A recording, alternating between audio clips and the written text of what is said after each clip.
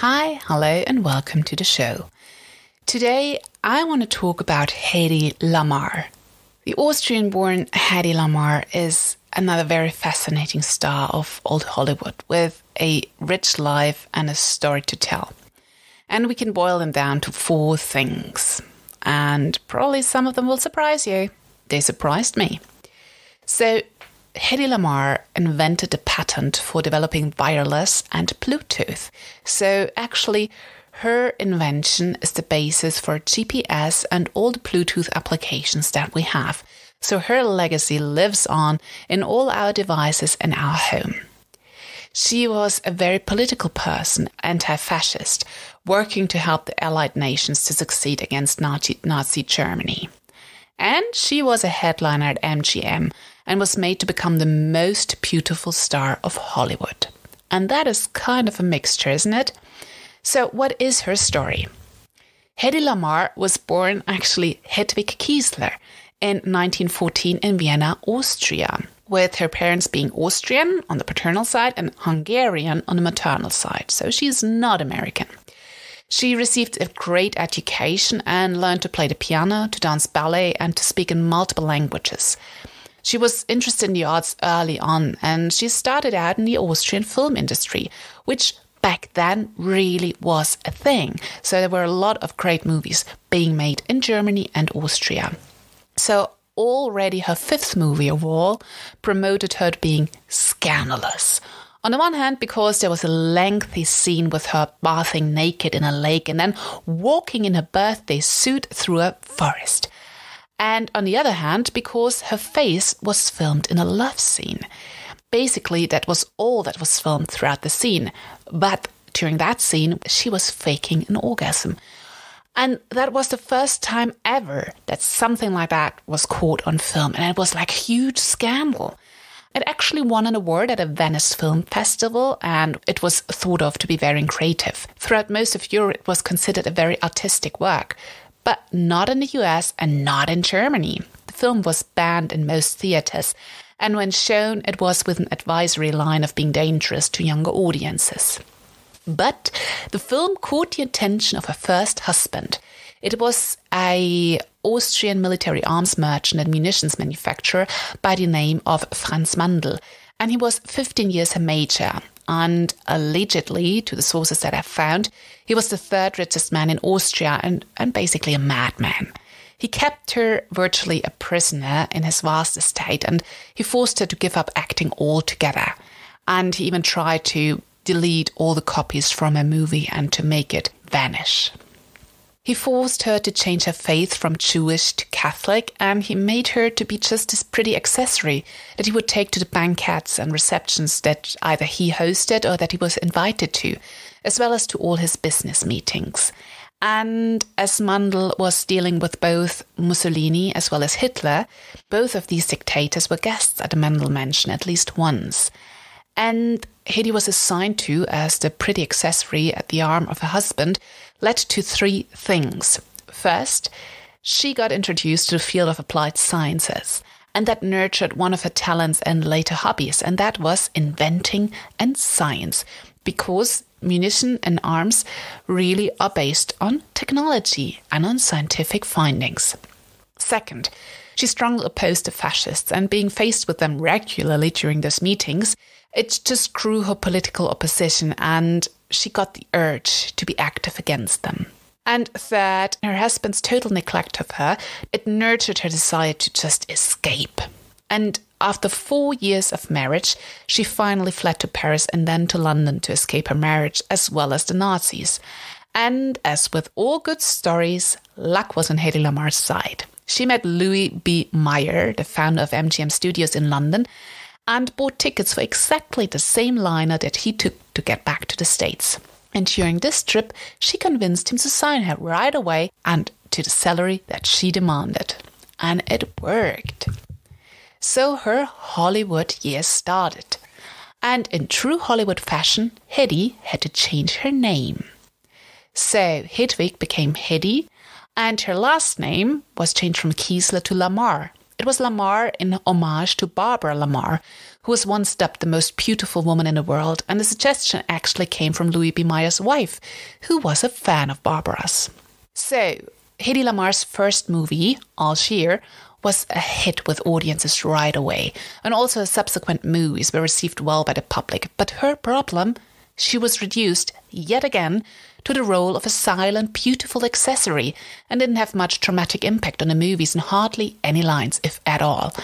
And although, obviously, she was hailed for her legendary beauty. Her most iconic movie, besides Ecstasy, where she faked the orgasm, is Samson and Delilah, where she's barely clad and incredibly beautiful. So Hedy founded her own production company to get more demanding roles and to create the roles that she actually wanted to play. But the movies that were more thrillers were an image overhaul for Lamarr, and they went over budget, and a comedy she tried also flopped. So she went back to being hired as an actress, this time by Paramount for Samson and Delilah, and later she went back to MGM. But her career started to falter and she only acted sparingly and stopped for good in 1966.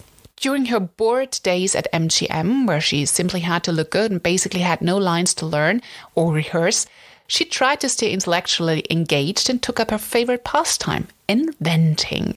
And apparently, her trailer was always full of equipment and things she could tinker with. And when World War II started, Hedy wanted to use her brains for the good and applied to the National Inventors Council. But they denied her access and told her she should go on a tour to support the war effort by giving out kisses to men and encouraging them to buy war bonds.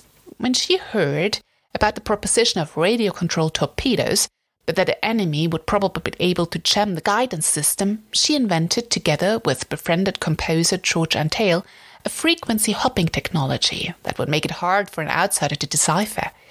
They came up with the idea because the two of them had to sync 16 pianos with a movie, and the technology behind both of those was punch holed paper, which would later be translated for the torpedoes with pneumatic controls, as it apparently already was in the pianos. This technology had not been new, but the application was new, and the two got granted a patent after being nudged to file for one by none other than Charles Kettering of General Motors. Sadly, the technology was not put in use during the war and long forgotten about, only later, around the 1960s, the Americans started to use this technology for their battleships, and it was used as the basis for wireless and Bluetooth. It was only after her death that Hedy Lamarr was inducted to the Inventors Hall of Fame, and several scientific institutes and prizes have adopted her namesake since then.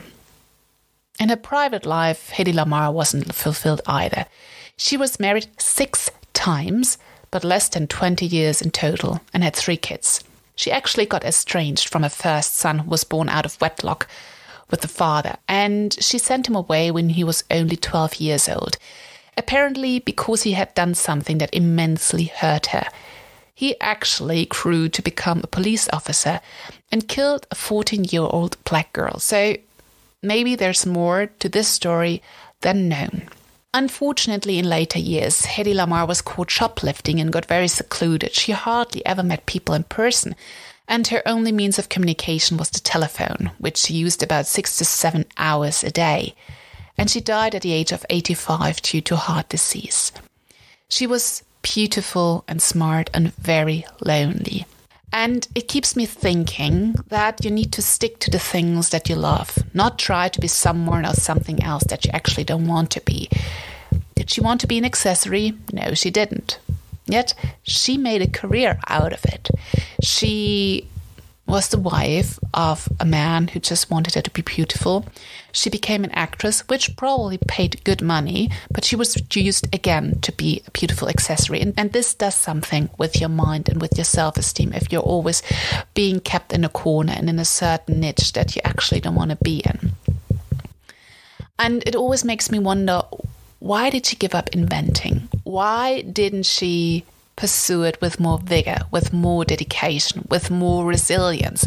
Why didn't she go to the university and get a degree and get really, you know, in the scientific field as she was apparently very adept at this, at science and at inventing. So this might have been a more fulfilling way of her than to be the beautiful accessory and repeat the pattern of getting married, getting divorced, and not finding fulfillment in any of those. She even invented other things like she updated a traffic light and she invented a tablet that you threw into water and it carbonated it. It didn't taste very well, apparently, but she invented that.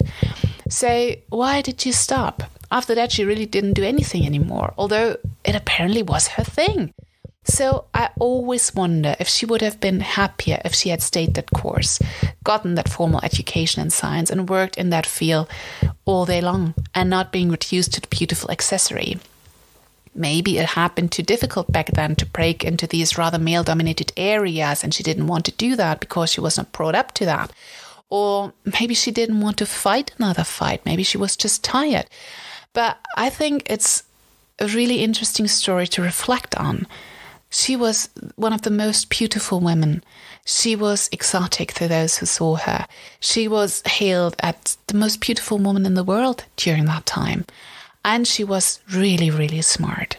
So it is a tragic story. And I just keep thinking that probably she was suffering from some trauma and just didn't manage to fight against those deep inner beliefs that she had about herself and her role in the world. So, yes, she was stunningly beautiful. But more importantly, she's the brains behind some of the most connected devices that we have. And probably you have an item in your household where her basic technology is included in. So keep her in mind brains and beauty, you can have both and you can use them both and you can build a beautiful, unique, and extraordinary life based on who you are, no matter what it is that you have and do. So I hope you got inspired by that story to fight, to go on, to find your way, to not be cornered in. And watch some of the movies that Hedy Lamarr did. I haven't seen Ecstasy yet. I don't even know if you can watch it anymore, but definitely Samson and Delilah. Watch that. With that, I wish you a very nice week. Have a good one, and I will talk to you next week. Bye.